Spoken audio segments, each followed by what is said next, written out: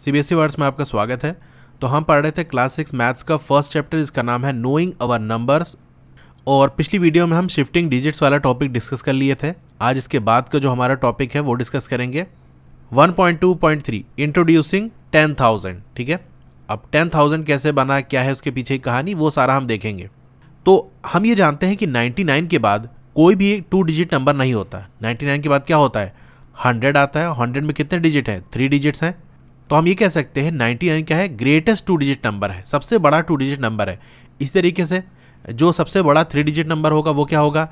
Triple nine होगा। Greatest four digit की बात कर लें तो नाइन नाइन नाइन नाइन तो हमें क्या मिलेगा? अगर इसके अंदर हम वन ऐड कर दें तो चलिए हम पैटर्न को समझ लेते हैं। हमारे पास ग्रेटेस्ट वन डिजिट नंबर था, जो कि नाइन है, उसमें हमने वन ऐड कर दिया तो हमारा टेन हो गया। टेन को हम क्या लिख सकते हैं? टेन इंटू वन भाई टेन को अगर वन से मल्टीप्लाई करोगे तो टेन ही आएगा तो टेन इंटू वन लिख सकते हैं।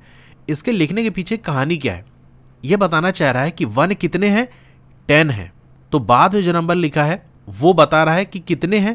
टेन है। कहने का मतलब भी जैसे आपके पास एक रुपए का सिक्का है तो ऐसे एक रुपए के कितने सिक्के हों कि दस रुपए बन जाए? तो आप कहोगे एक रुपए के दस सिक्के हों। ये देख सकते हो यहाँ पर हमारे पास दस सिक्के हैं टेन क्वाइंस हैं वन रुपीज़ के। तो इनकी वैल्यू क्या होगी? दस रुपए बनेंगे मिला के। अब दूसरा वाला देखो ग्रेटेस्ट टू डिजिट नंबर क्या होता है? नाइनटी नाइन इसमें हम वन ऐड कर दें तो क्या बन जाता है? हंड्रेड बन जाता है। हंड्रेड को हम क्या लिख सकते हैं? Ten into ten ten multiply by ten क्या होता है? हंड्रेड होता है। यहाँ लिखने का मतलब ये है कि अगर आपसे पूछें टेन कितना है तो आप कहोगे टेन टेन है। यानी दस रुपए का अगर सिक्के की हम बात कर लें, यहाँ पर हमने पहले वन रुपी क्वाइन देखा था ना तो दस रुपए के सिक्के की बात कर लें तो दस रुपए के जो सिक्का है, वो हमारे पास दस है। तो कितना बन जाएगा वो? सौ रुपये बन जाएगा। तो दूसरा वाला हमारा वैल्यू बता रहा है और पहले जो ये टेन लिखा है, वो बता रहा है कितना है। ठीक इसी तरीके से अगर हम 999 की बात कर लें तो ये ग्रेटेस्ट थ्री डिजिट नंबर है, इसमें हम वन ऐड कर दें तो हमारा कितना बन जाएगा? 1000 और 1000 क्या लिख सकते हैं। 10 इंटू हंड्रेड देखो 10 हम सेम रख रहे हैं, बस आगे वाले में हम अपना ज़ीरो बढ़ाते चले जा रहे हैं। पहले वन था, फिर टेन हो गया, फिर हंड्रेड हो गया। कहने का मतलब ये है कि यहाँ जो लिखा हुआ उसको हम क्या कह सकते हैं? हम ये कह सकते हैं, हमारे पास कितने हंड्रेड हैं? आपसे पूछा जाए तो आप कहोगे टेन हंड्रेड है। टेन हंड्रेड का मतलब ये है सौ रुपए की दस नोट। चलिए मैं आपको बना के दिखाता हूँ। तो हमारे पास एक सौ की नोट ये हो गई, एक ये हो गई। तो हमारे पास सारी सौ की नोट है। अगर मैं आपसे पूछूँ कितनी सौ की नोट लें कि एक हज़ार रुपये बन जाए तो आप कहोगे दस लेनी पड़ेंगी। टेन हमारे पास हंड्रेड रुपी नोट होगी तो वो हमारा वन थाउज़ेंड बन जाएगा, यानी टेन इंटू हंड्रेड हमने यहाँ पर ऑब्ज़र्व क्या किया कि ग्रेटेस्ट जो सिंगल डिजिट नंबर है उसमें हम वन ऐड कर दें तो स्मॉलेस्ट टू डिजिट बनेगा। स्मॉलेस्ट टू डिजिट नंबर कौन सा होता है? टेन होता है। इस तरीके से अगर ग्रेटेस्ट टू डिजिट नंबर में वन ऐड कर दें स्मॉलेस्ट थ्री डिजिट नंबर बनेगा, जो कि क्या होता है? हंड्रेड होता है।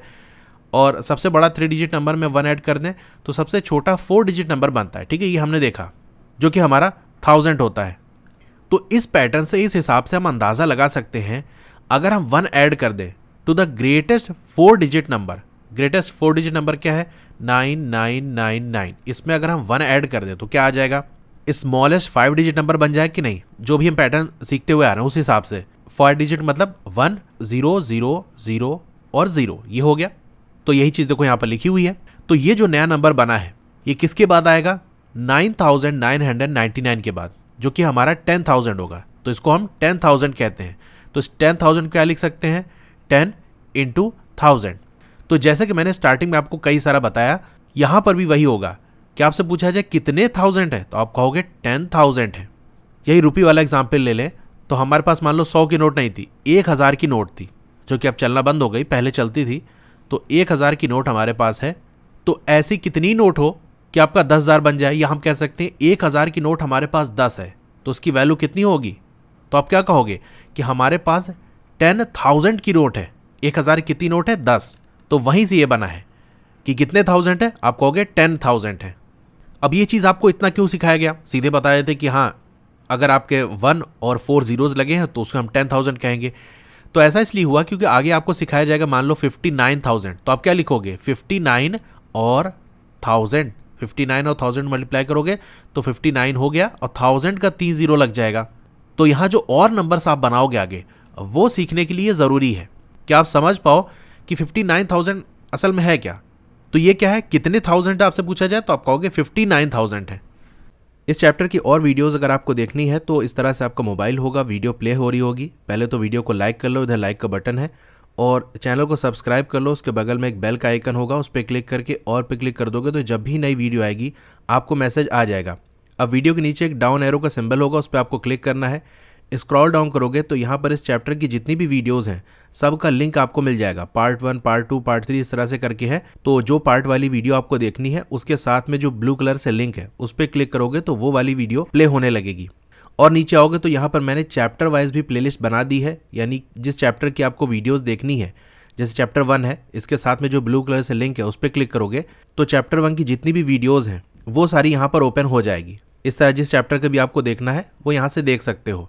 और नीचे यहाँ पर आओगे तो आपको दूसरे सब्जेक्ट्स के भी प्लेलिस्ट का लिंक मिल जाएगा तो वहाँ से और सब्जेक्ट की वीडियोज़ आप देख सकते हो। Okay thank you